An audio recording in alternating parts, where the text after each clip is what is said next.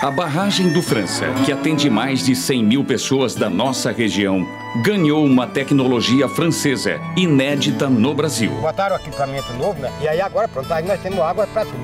Tem água à vontade. Graças aos Fusegates, a barragem do França aumentou em 30% sua capacidade de armazenamento de água. Hoje tem água suficiente para a gente trabalhar e para tudo. Com mais água, tem mais trabalho. Porque nós estávamos precisando de uma riqueza dessa e a riqueza que eu falo é a água. Tendo água, tem tudo. Isso significa mais produção, mais água nas torneiras e uma vida melhor para os baianos de Miguel Calmon, Piritiba e Mundo Novo. Meu filho, água é vida. É o sangue da, da terra, né? Eu estou feliz aqui, eu e a região. E chegou com muita água para nossa população.